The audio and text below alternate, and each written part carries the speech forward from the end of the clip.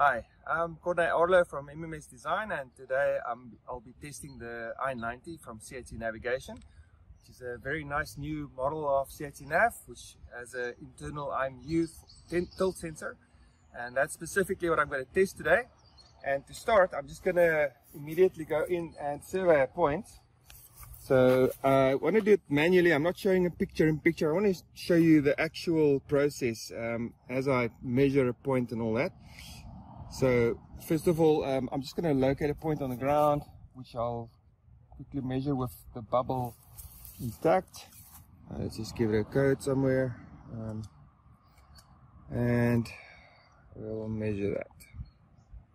Okay, so I'm using the the spirit bubble and the bubble is fairly plumb at the moment.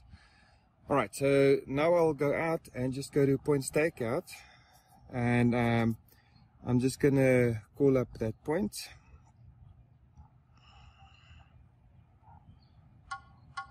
Alright, so th that just shows us that we are on the point and every beep you hear is actually the program telling us we're within um, 5 centimeters of the point, which is a actually 3 centimeters. That's the actual calibration setting setup. You can see the accuracy is pretty good. Okay, so let me just walk off a little bit. Okay, so now I'm just going to go into a, a, tilt scenario. So the, the pole is not plumb.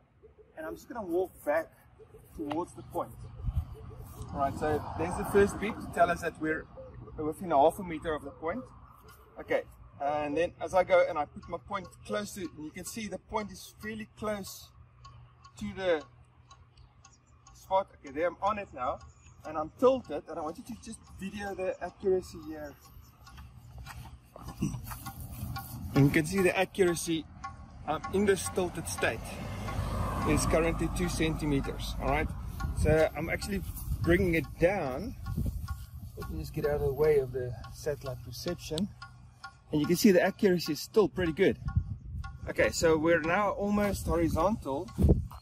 Okay, and um, I'm now gonna just move the point off of the point. So if you just come here and look at the, accuracy there, and I'm just gonna go off, and I'm putting it back in. And it's still two centimeter accuracy. Off, back in. All right, and then I like to just do a accuracy check in different um, there you can see just look at this. Accuracy is still one two centimeters. Okay so I'm just taking it into the next quadrant Okay, I'm still on the point and I pull it off. It's quiet, put it back in, off.